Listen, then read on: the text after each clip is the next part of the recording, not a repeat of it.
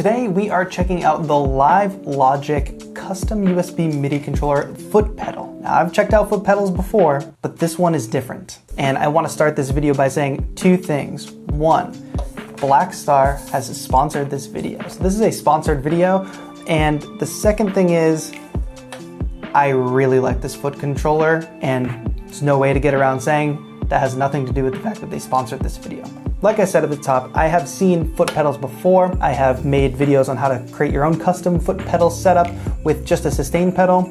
Um, none of them quite live up to this one. Today, what I wanna do is really demonstrate why I think that. Caveat I really wanna start with here is that, you know, I'm not a full-on guitar player. I play guitar, but I'm not a guitarist, you know what I'm saying? And also, like, I have a very distinct way of making beats and making live sessions, so I'm really gonna talk about how this MIDI pedal works in my type of workflow. And of course, you all know that I usually like to show these off in a session, like actually make some music with it, actually do a live session with the gear before I talk about it. So we're gonna loop some guitar, we're gonna grab the MPK Mini, and we're gonna create a really cool session. So let's go do that now, and we will talk about the setup after. Oh, and if you're new to the channel, welcome. My name is Taetro, your electronic music mentor.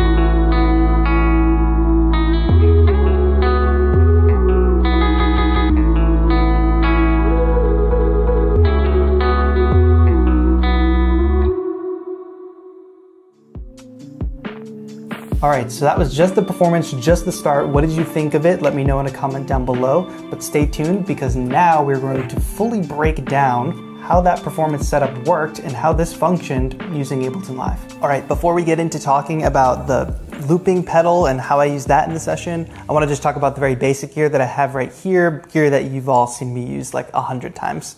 So of course, first we have the Akai MPK Mini, one of my favorite mini MIDI controllers, of course.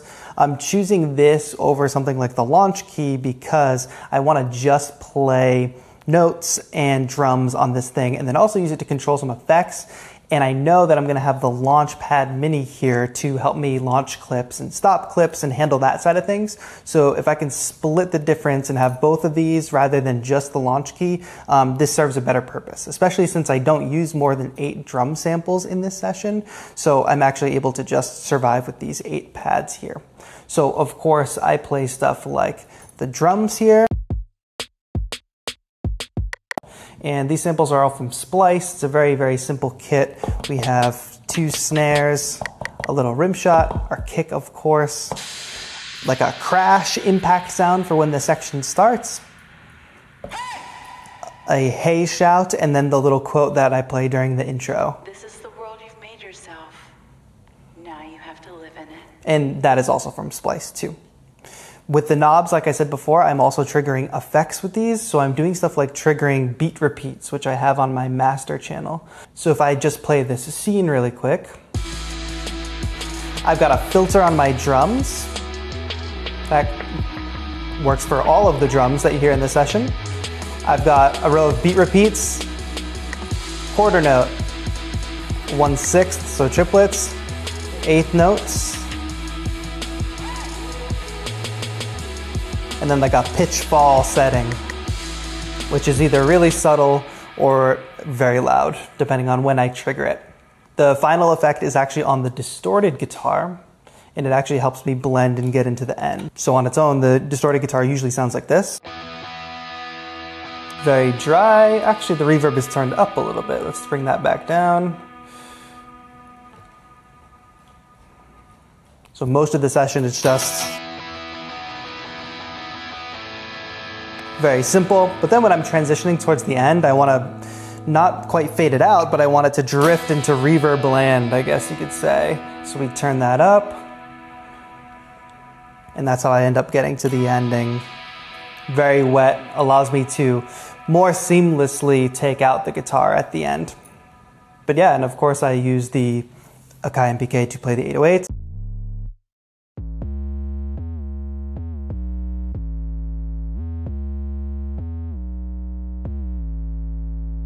As well as the synth lead.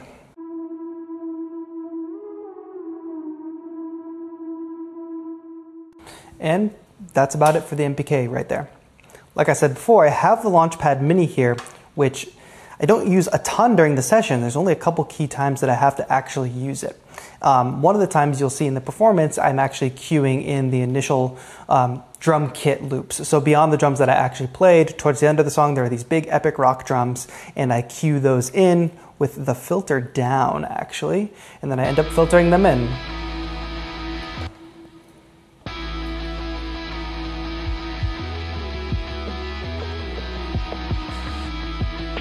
So here they come.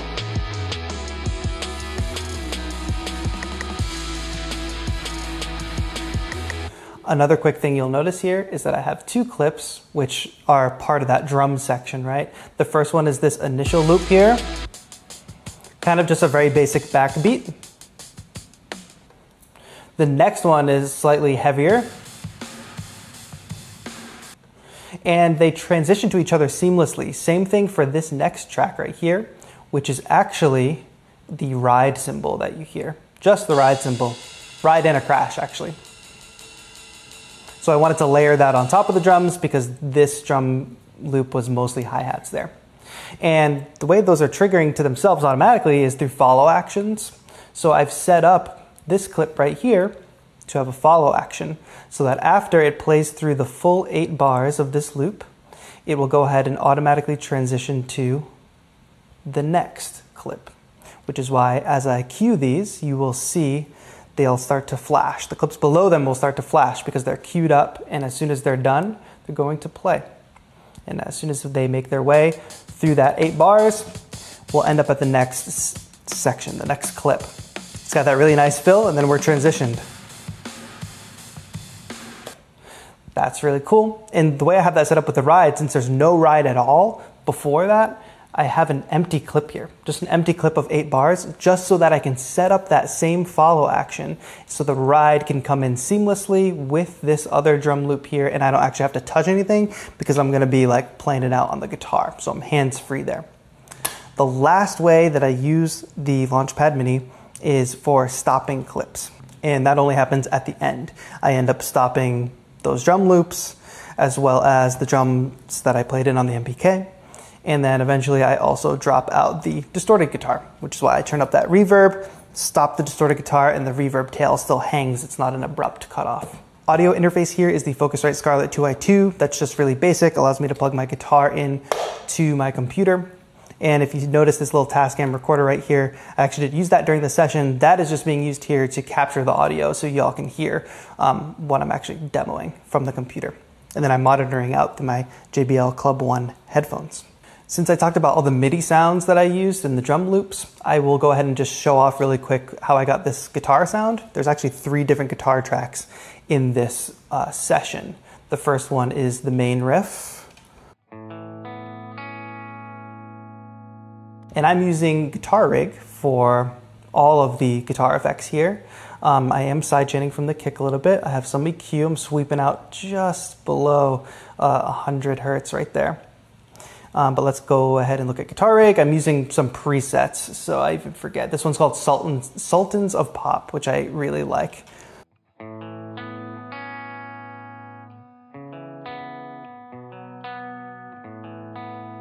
Just a very nice, clean pop guitar.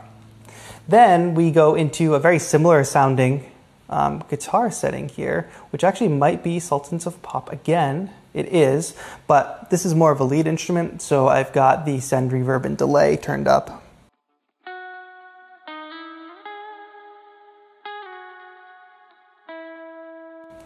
You'll also notice that these are kind of panned a little bit left and then a little bit right to give some spatial uh, feeling. And then the final one is the distorted guitar that we already talked about.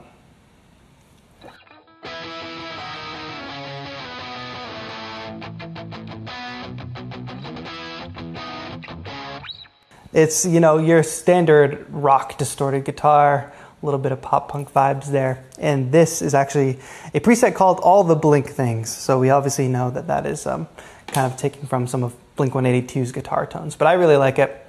Uh, I've added a little bit of reverb on top, and I'm doing a little bit of EQing to take out some problematic frequencies, boost a little bit of brightness, and it too has a little bit of send and delay, as well as Oh, that's it. We have the width turned up a little bit. So it's a little bit wider in the stereo field.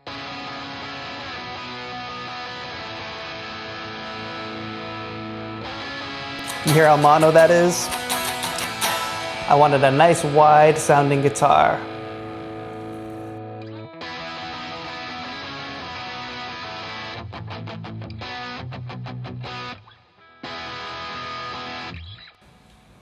and that's the guitar tones. All right, so without a doubt, this performance would not have been possible without this foot controller here, the Live Logic by Blackstar. Now, I've used other MIDI foot pedals before, um, and I've even done a video on how you can set up a sustain pedal plugged into something like your MPK to get almost a similar effect, but this takes it to the next level. And the reason for that is if we look in Live's preferences, um, I believe Blackstar, Blackstar might be the only or one of the only um, MIDI foot pedal creators that actually has a script for Ableton Live. So you see it shows right up here as a control surface, Blackstar Live Logic. Um, and then we can set it as our input and output, etc. And I've done zero custom mapping for this controller for this session, I should say. I believe the possibilities are probably a lot more than what I've done here but I wanted to use it just out of the box, like with the feature set built in. The whole point of saying that it has a script written for it and it's compatible directly with Ableton Live as an Ableton control surface means um, it does a lot of really smart things.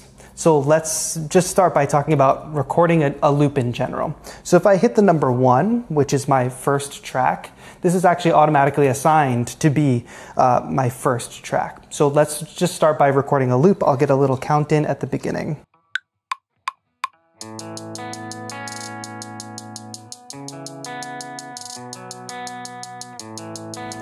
Okay, so that's a basic looping technique, right? And now we have our loop going. All I had to do is trigger the loop and then trigger it to come back. Notice also the feedback on the foot pedal too, it's counting. So I can actually see what bar and what beat I'm on in case I've lost the one, or I wanna be sure that I'm doing a four bar loop or an eight bar loop, etc. I've got that feedback there.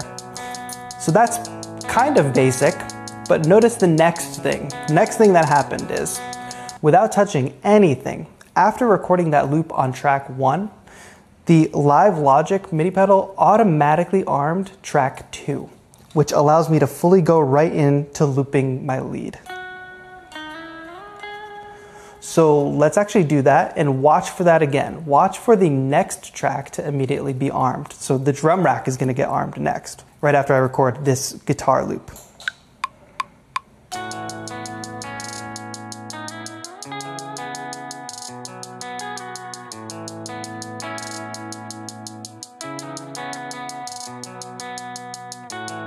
Immediately the guitar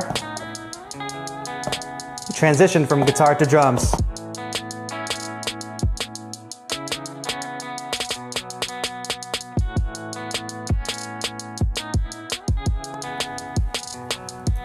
And then right from there it goes to the 808.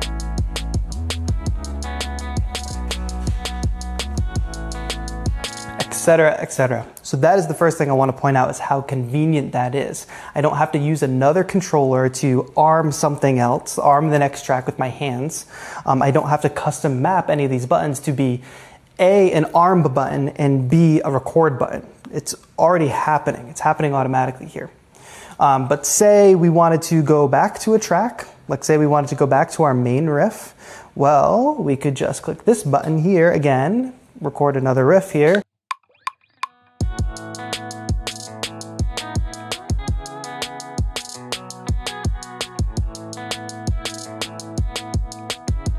I don't like that, let me play something different.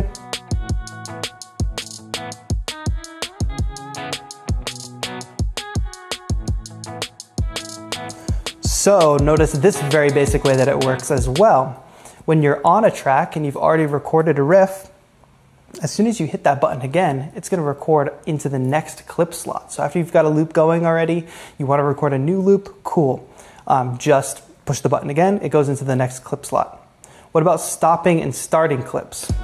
I do use the Launchpad to stop and start a couple clips in this session, but on the Live Logic pedal, you can also just hold down the button and it stops and then starts.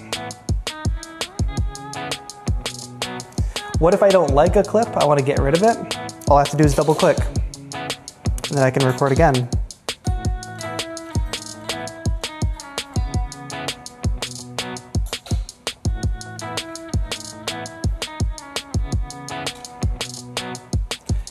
And you notice that the 808s are right now armed. Say I wanted to skip the 808 or something. 808s are on track four. Notice how this is all lining up perfectly with the live session. 808s are on track four. What if I wanted to skip the 808 and go to the lead? As this is playing, even though the 808 is live, I can go ahead and just press five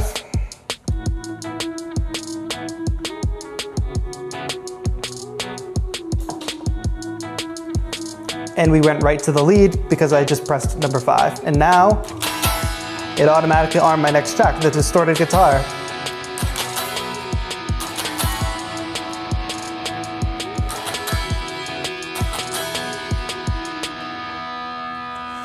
So you get this free flowing performance because the controller is doing most of the work that you don't actually need to be doing. Like I don't need to assign a controller to arm tracks as I go. I don't want to have to use my mouse, click in, delete something I don't want, um, start recording in the clip slot, the particular clip, clip slot that I want to. It's all very fluid and it's designed in a very smart way. So tracks one through six line up with one through six on this pedal board. And that's about as far as I took it for this session because I thought that that was convenient enough for me. Everything beyond track six in my session here is not something that I play. So tracks seven, eight, and nine are just drum loops, meaning that uh, all I have to do is trigger them on, and I do that with the Launchpad here. Um, I really don't need to be hands free for that. all the instruments that I play, it would be much easier to be hands free so I can either play the keyboard, play the guitar without quickly pressing record or pressing arm and then jumping in of track. When you get caught up in that, what often happens in looping performances is you have to let things extend a lot longer because you need time to transition between instruments, but not with this foot pedal because it's just doing the transitions for you and it's reacting in a very smart way. Also, just like from a practicing perspective and working with the pedal, it's very convenient to uh, say, oh, this take wasn't good. Let me go ahead and delete the drums, delete the clean lead, delete all those main riffs and let's just keep that synth and we'll just go right back in and start playing again.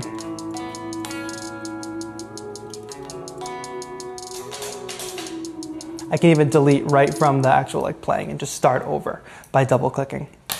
Very, very convenient. I was not expecting that from this controller, but it means a lot when a company uh, goes ahead and makes a great live script uh, for their gear. It's actually what separates gear that's just okay. Um, you know, you plug it in and it kind of, you know, it works. You can play instruments with it, like say in the instance of a MIDI controller or whatever. Um, gear that has like a specific script for your DAW, like a Launchpad is a great example. Like it's made for Ableton Live. I feel like with this script right here, this foot pedal is made for Ableton Live, even though I know it works with other DAWs as well something to look into when you're buying gear. Like, oh, is it compatible with my DAW? Sure. The Akai MPK Mini is compatible with my DAW, but it doesn't launch clips like the Launchpad does you know, just things to think about. I challenge you to go back and rewatch the performance video. Um, even though there isn't a camera on the foot pedal specifically, you will be able to now reverse engineer what's actually going on as I press through all the different parts and record all the different parts with the foot pedal. All right, so I think it's pretty clear that I am a big fan of what Blackstar did with their MIDI foot controller. I mean, having a custom Ableton Live script really just takes it to the next level and they put a lot of real thought into how it would function and how an actual live performance functions. One thing I realized I did not mention as I sit back down here at my desk, well, it is battery powered, first of all, I didn't mention that, but also the LED feedback is very helpful. So when you are about to loop something, the light will flash rapidly. When something is playing, it will be a solid light. And when you're recording, it will be pulsing with the tempo of your track. I thought that was really cool and I forgot to mention that, but it's great because even in like my sunny living room, um, sun blaring down at the pedal, I can still see these LEDs and the feedback is really helpful to make sure that I know what I'm doing. Like I said at the top, this video was sponsored by Blackstar, so feel free to take everything you heard in this video and everything you saw with a grain of salt, but I, I really can't express enough how um, when companies put a lot of thought into the compatibility of their controller with a DAW. It's what brings things to the next level. And I mentioned it earlier with, you know, something like the Launchpad Mini. You have it again here. I have my Launchkey 37 sitting in front of me. Um, when the people who are making the hardware have the actual software in mind and create something that's made specifically for the workflow of the DAW, it, it, just makes things that much better as opposed to a controller that kind of lives in its own world, you know? And that's why I think this MIDI foot controller uh, kind of rises above the rest. There's lots of other features involved with this MIDI controller that I'm sure you'll find a lot of other videos by folks who like are real guitar players and use it for, you know, those purposes. But um, for me in my setup and for folks who watch these videos, I think that if you are looking for a hands-free way to loop and run Ableton Live sessions, um, look no further than the Blackstar custom USB MIDI controller Live Logic. Big piece of criticism there, what a name. Can we, we can come up with something better than that, right? All right, but that's gonna be it for today. If you haven't yet, make sure you subscribe to the channel for more live electronic music performances, tutorials, and content to make you a more productive producer. Give the video a thumbs up and a comment always helps get the video out to more people, more engagement, you know, the more the algorithm takes over, that kind of thing. And uh, thank you all so much for watching. This has been Taetro, your electronic music mentor. Have a good one.